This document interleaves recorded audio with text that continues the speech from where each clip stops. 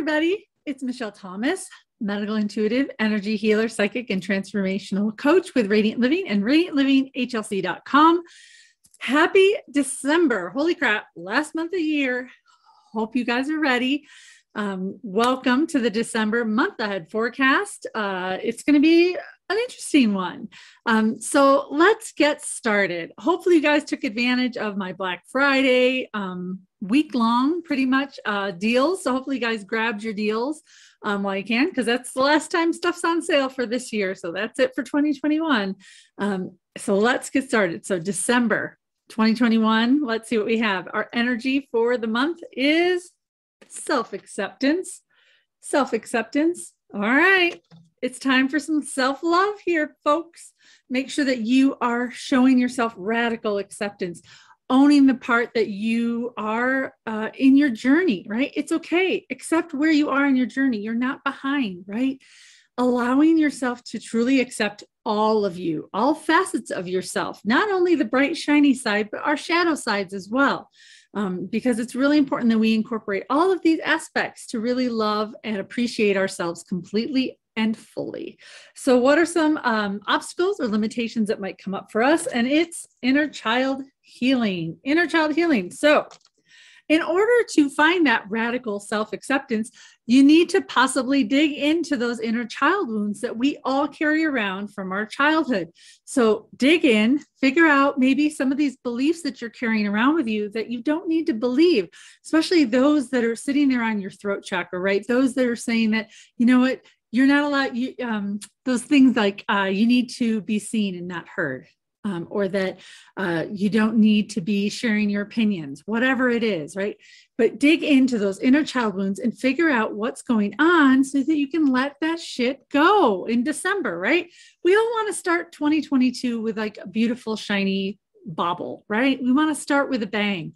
Um, so do your healing in December. Get it, you know, as much of the stuff done. Do that work now, so that like in 2022 you're ready to really move forward. Um, so some actions that we can take this month is angelic protection. And that's really about one, calling in your guides and angels all the time, asking them for help, asking them for assistance, working with Archangel Michael to release any kind of cords that maybe you have attached, especially to that inner child beliefs that you might have. Right. Knowing that you're divinely guided and supported at all times. But here's the thing, right? This is your team. Your life is your team. Your angelic guides, um, all of your spirit guides, uh, ascended masters, archangels. They're part of a team and they're sitting on the bench waiting to be put in the game. So make sure that you are giving them directions, asking them for help, putting them in the game to help you, right? We all have free will. They can't get in the game unless the coach puts them in and you're that coach. Um, so harness that power of the beautiful angelic and divine guidance and wisdom and assistance that you have from all of those spiritual helpers. Um, and spirit's guidance for us for this month is holy love. Holy love, you are divinely loved, right? And really opening up that heart space to allow not only the giving of love, but the receiving of love in all forms, right? It doesn't just have to be romantic love.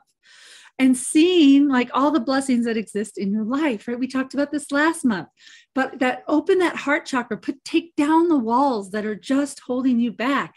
Um, really opening that space up to love and to trust your heart knowing that it is giving you the messages that you need to hear in order to help you move forward, right? That's part of our intuitive guidance system, if you will.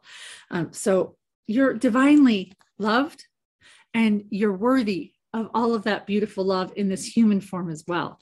Um, so I hope you guys have a fantastic month. Make sure that you are finishing up any of those things that you wanted to complete um, by the end of the year. Do that stuff, right? Again, do those healings that you need to heal right? Letting go of the baggage that you need to like let go of so that you can start your year fresh. And if you want some assistance with that, I am offering my Release 2021 workshop, which is an energy clearing as well as an intention setting workshop that's going to be on New Year's Eve at 10 a.m. Mountain, noon Eastern. It's going to be in the morning so that we can do all that work and then go out and, and celebrate the new year. Um, so I'm doing that. Again, you can find all that information on radiantlivinghlc.com um, or on Facebook, Radiant Living HLC. Um, for more information to sign up and register, um, it's going to be a powerful event. I did this last year it was incredible the amount of energy that moved through all of us and some of the beautiful intentions that the workshop goers uh, really sort of got into.